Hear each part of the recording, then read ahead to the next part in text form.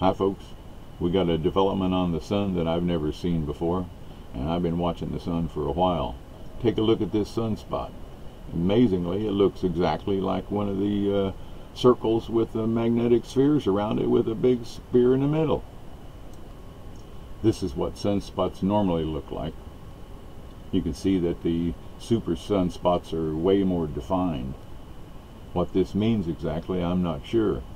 But it's interesting that uh, there's another one forming today, as you'll see, and both of them are right along the equator. We might end up seeing a string of these form all the way around the sun. That's my guess, but I don't know. The spacing looks about right to fit six of them around the equator of the sun. The possibilities for a coronal mass ejection just increase too, because these sunspots are forming in what's normally called the Earth-facing quiet.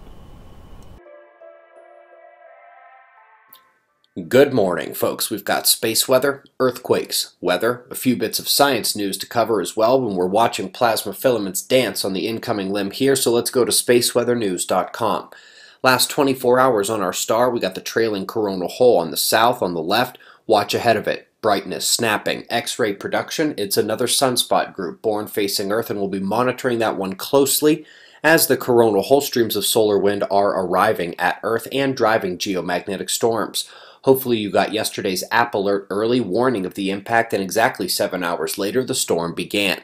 Level 1 disruption only and peaking out overnight with only modest ground perturbations and only the slightest of returns on the U.S. geoelectric map.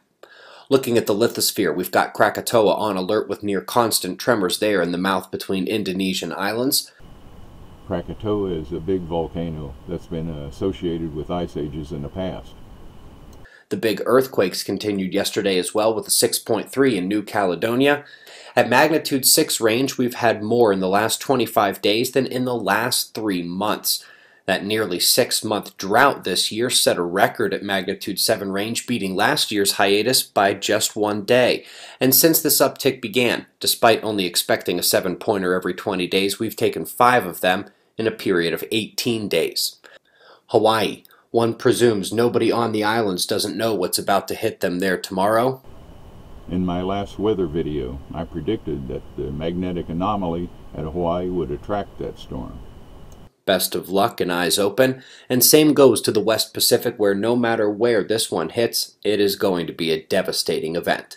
And we're on to the tokamak, which is only slightly less practical than what you just heard about, but it turns out that might not be true for long as the magnetic field and plasma layers are starting to add up on paper and in the lab. This is fucking funny to me. They're busting their ass trying to understand plasma now. We should have listened to Ed Leedskalnin a hundred years ago. We'd be way more prepared for these plasma events now. Hey, what's up guys? Tyler here with Secure Team there is something really, really strange going on at a solar observatory in New Mexico that was suddenly and without reason closed down last Thursday on the 6th. Having been totally evacuated, the FBI got involved. Even the local post office was evacuated as well. No one is being told why. Not the police, not the post office, not the observatory, no one. I believe I just showed you what they're concerned about, and they should be concerned, as should all of it. Our time for preparation is rapidly coming to an end, folks. Good luck. I'll see you next time.